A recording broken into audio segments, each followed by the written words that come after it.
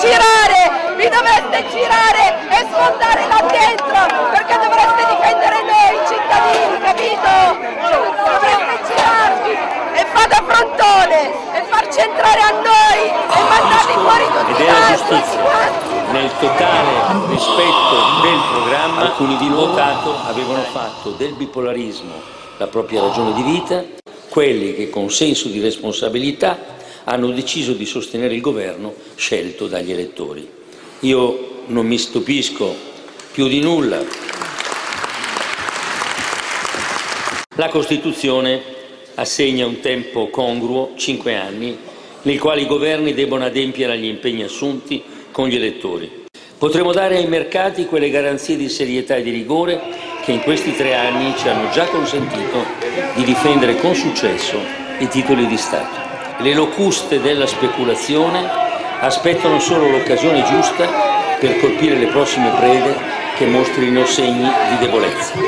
Lo sanno gli analisti politici ed economici, lo sanno i risparmiatori, lo sanno gli imprenditori, lo sanno tutti i cittadini.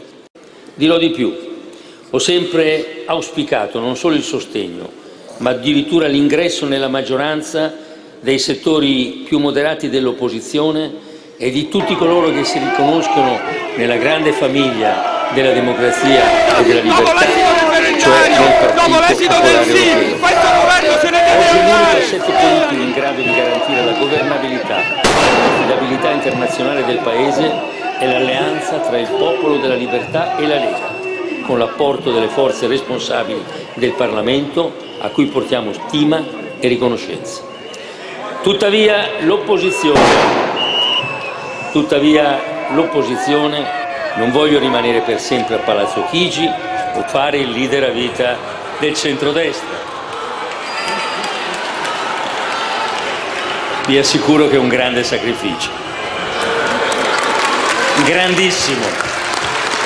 E ringrazio tutti gli italiani che hanno fatto sacrificio e hanno lavorato duramente per superare il momento più difficile.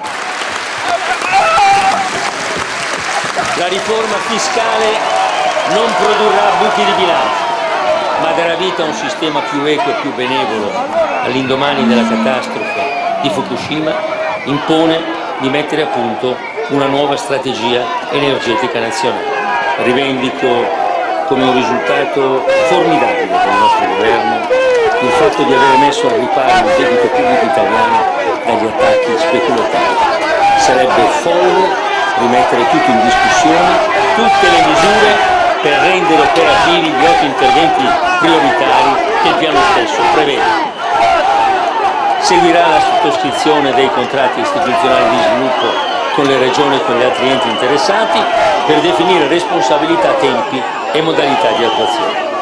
Intendiamo anche apportare una incisiva modifica sui sei eletti sotto il simbolo del popolo della libertà questo governo ha raggiunto la quota di 64 componenti, compreso il Presidente del Consiglio, rispettivamente per gli enti locali virtuosi e per quelli che non lo sono.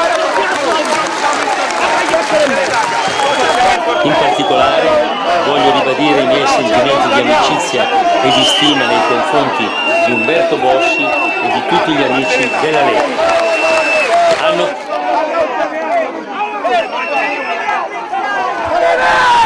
Svegliatevi! Vi dovreste girare, vi dovreste girare e smontare là dentro, perché dovreste difendere noi cittadini, capito? Dovreste girarvi e fate a frontone e farci entrare a noi e mandarli fuori tutti, tutti quanti.